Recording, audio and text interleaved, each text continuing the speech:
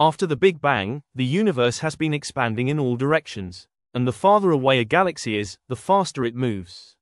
This is Hubble's law, and it works beautifully, until it doesn't. In 2008, NASA's WMAP satellite detected something weird. Clusters of galaxies were drifting at 2 million miles per hour, all in the same direction. Not explained by gravity, not predicted by theory, there's no massive object inside our observable universe that could cause this. So, what if the force is outside it? A hidden universe, a leftover imprint from before the Big Bang. Some scientists argue it's a data artifact, a statistical fluke.